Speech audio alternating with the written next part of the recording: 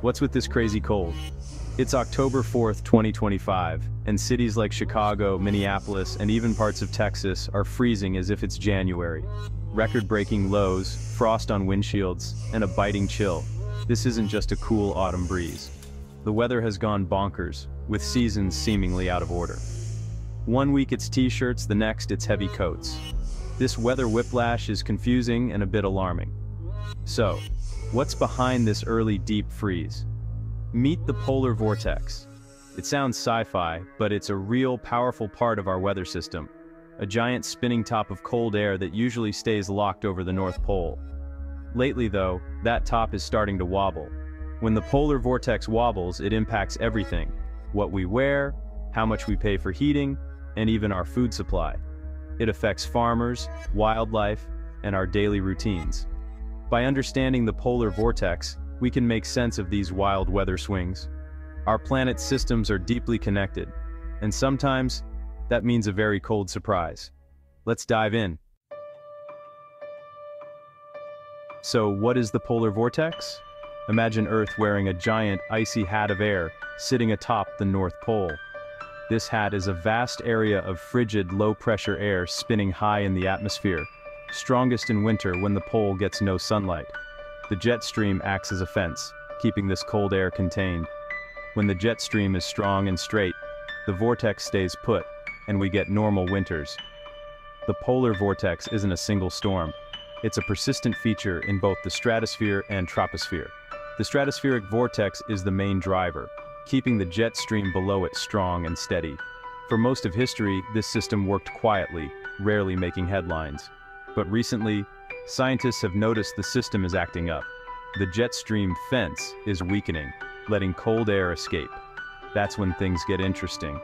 And very cold for us.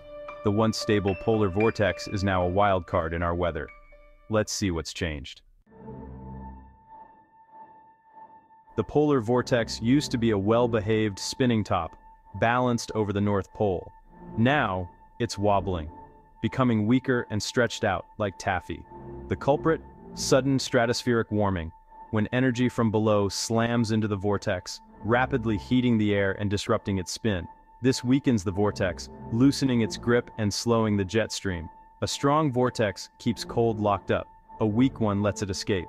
Meteorologists now watch the stratosphere closely. These warming events are major clues. When one happens, it's a warning. Extreme cold could be coming in the weeks ahead. This discovery has changed weather forecasting. Now, we look higher up to predict what's coming down. The polar vortex's wobble is a game changer for our winters. Let's see what happens when it really breaks apart. When the polar vortex gets a shove, it can stretch and even split into smaller blobs of Arctic air. Imagine a spinning blob of clay, poke it, and pieces break off and fly away. These cold blobs don't stay at the pole, they drift south over North America, Europe, and Asia. It's not the whole vortex moving, but a chunk of it bringing Arctic cold to new places. This is called a displacement or a split. The result? Sudden dramatic plunges in temperature. True Arctic air delivered to your doorstep. A weak split vortex means the jet stream becomes wavy, creating superhighways for cold air to surge south. At the same time, warm air can surge north, flipping weather patterns. That's why you might see Alaska warmer than Florida. These splits are the key to understanding our wildest cold snaps. The polar vortex's instability is rewriting winter as we know it. Let's see how this plays out in your neighborhood. How does a wobbly vortex miles above affect your daily life? It's all about the jet stream. When it's strong, cold air stays north. When it's wavy, the barrier breaks down. A deep dip in the jet stream, called a trough, acts like a slide, letting Arctic air pour into the US. This isn't a normal cold front. It's a full-on invasion, with temperatures 20, 30, even 40 degrees below average. The cold is sharp, the wind chill dangerous, and life grinds to a halt. Schools close, flights cancel, pipes burst, all because of a disturbance that started high above the North Pole. When meteorologists warn of a lobe of the polar vortex, this is what they mean.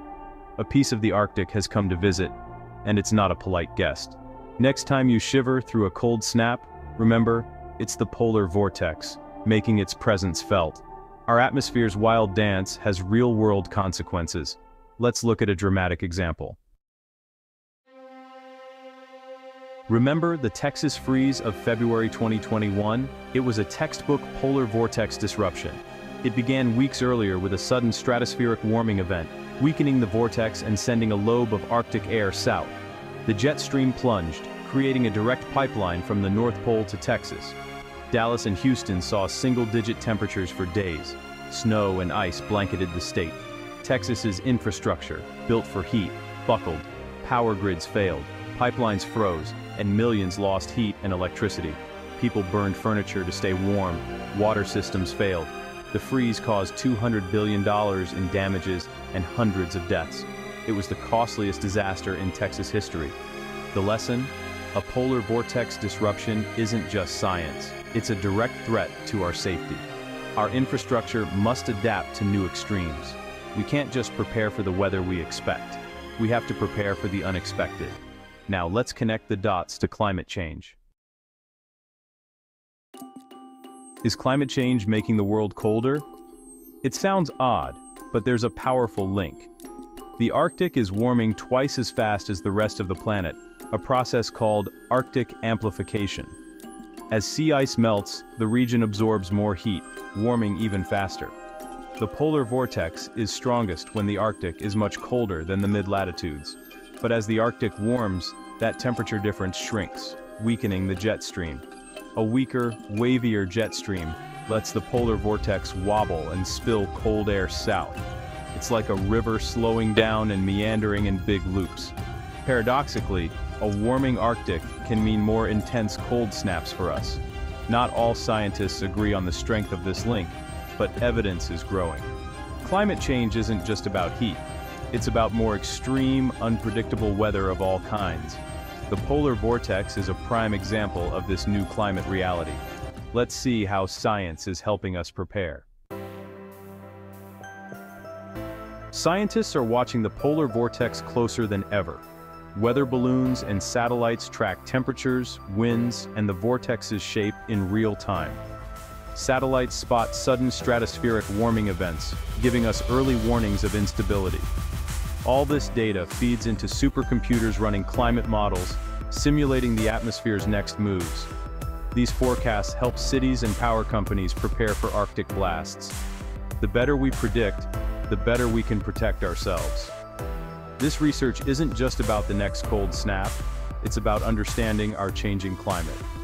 Scientists are asking, Will vortex disruptions become more common as the planet warms? The answers will help us build a safer, more resilient world. Knowledge is our superpower. The more we learn, the better we can face the future.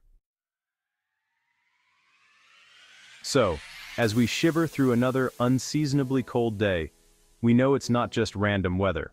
The polar vortex connects melting Arctic ice to a wobble in the sky, to the cold air in your neighborhood. It's a perfect example of how everything on our planet is linked. Climate change isn't just about warming. It's about disruption and extremes in every direction. We need to be ready for heat waves, floods, and yes, more intense cold snaps. But knowledge is power. We can study, predict, and adapt. We're the first generation to truly understand these global connections, and the last that can change our future. Next time you bundle up, think about the journey that air took from the top of the world to you. Let it spark your curiosity and conversations. Support science, share what you learn, and work together to protect our home. The future of our planet is in our hands. Let's get to work.